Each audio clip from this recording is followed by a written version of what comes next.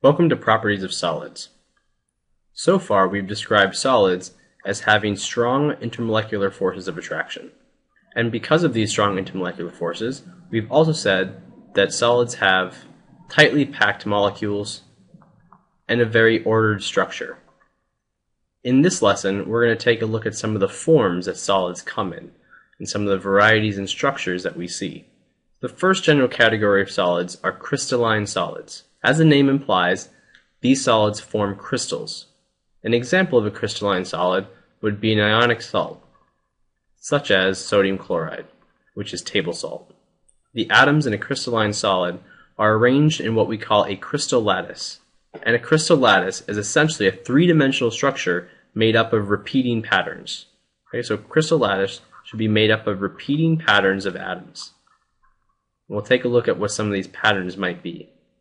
And if we take one piece of the lattice that can be repeated in this pattern, we call that a unit cell. And because these crystal lattices are these large structures of repeating patterns, it's helpful to just consider the unit cell because that is what we know is what gets repeated over and over and over again. The unit cell is a pattern that's repeated. So there are different kinds of unit cells that we can see. To visualize what some of these unit cell patterns may look like, we can start by considering a basic cube. Now this three-dimensional shape can be defined in a few ways. One by the length of each side. So these are the different sides on the cube. There's also three different angles that are present. There's the angle between these two sides, there's the angle between these two sides, and there's the angle between these two sides. We can call those angles alpha, beta, and gamma.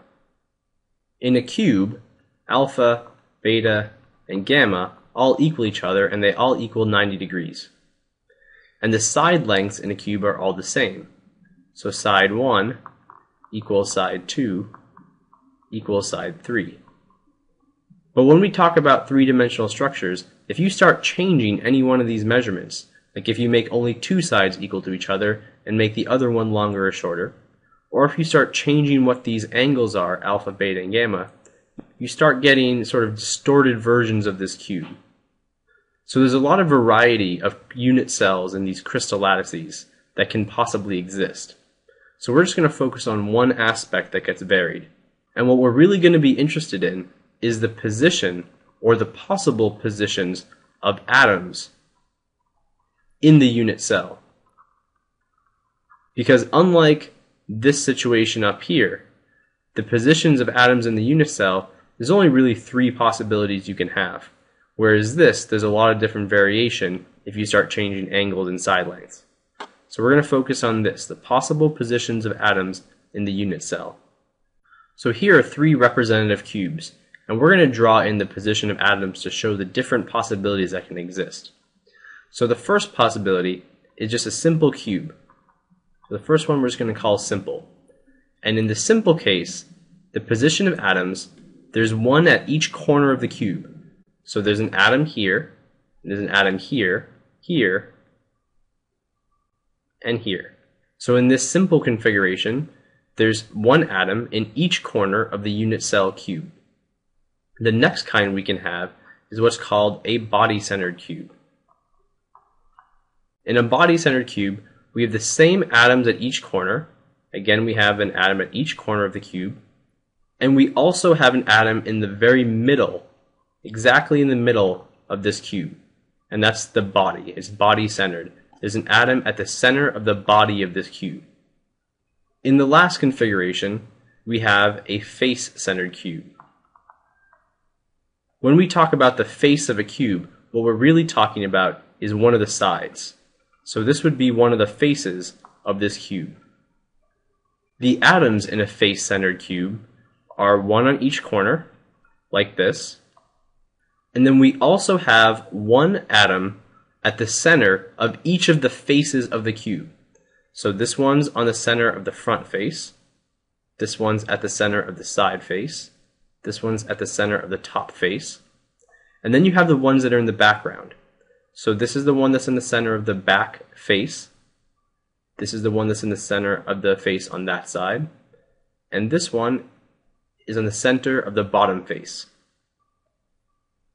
And this is one of the ways that we classify crystalline solids, by the orientation or the position of the atoms in a unit cell. Now because crystalline solids have a repeating pattern, whether the pattern is simple, body-centered, or face-centered, the pattern is repeating. That means that crystalline solids are uniform throughout the entire substance. And this uniformity results in one specific melting point because all the forces and all the atoms are equally distributed throughout the entire structure. There's one melting point for the substance. Now, not all solids have this crystalline structure. Some of them have a more irregular structure, and we call those amorphous solids.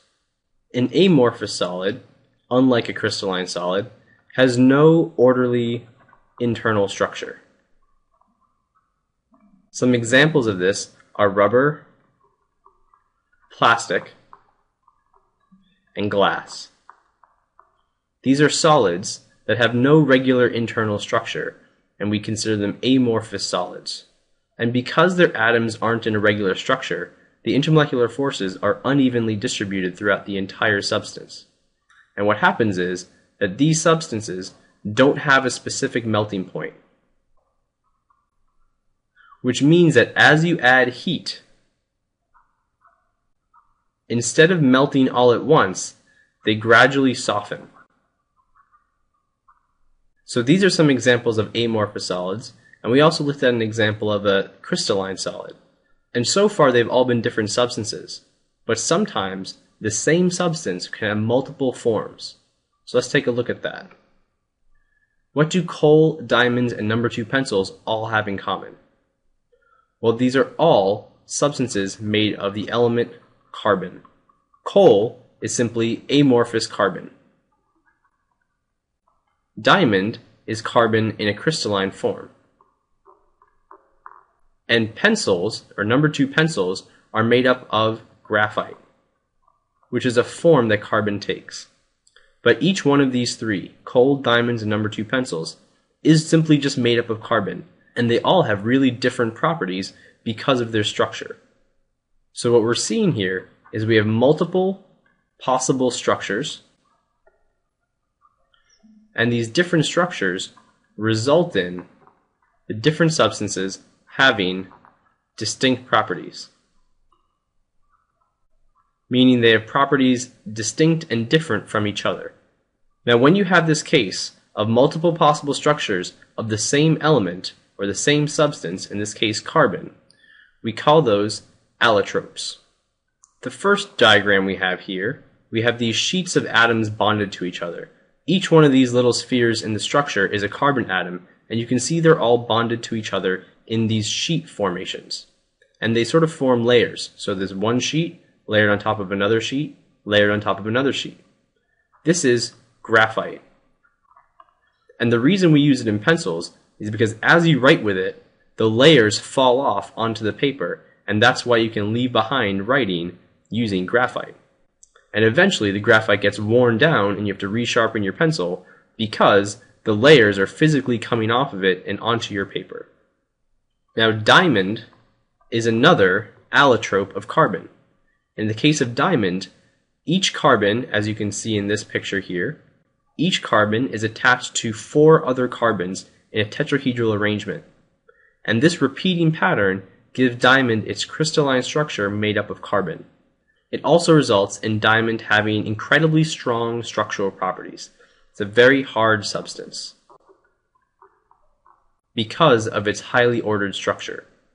Now there's one more form of carbon that was discovered, and that is this one down here. It actually looks like a soccer ball arrangement with alternating pentagons and hexagons, just like a soccer ball would have. And this is called a buckyball.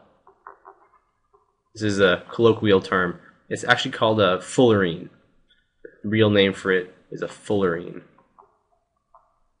And this is a pretty amazing structure. This particular fullerene is carbon 60. 60 atoms of carbon bonded to each other in a hollow spherical shape. And these fullerenes have amazing properties. They're actually harder than diamond, but because of their hollow shape, they have a significantly lower density than diamond. so their strength per weight is incredibly high. So these buckyballs are very strong and rigid.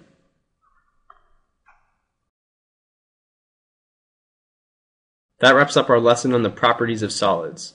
Write down any questions you have in your notes and bring them with you to class.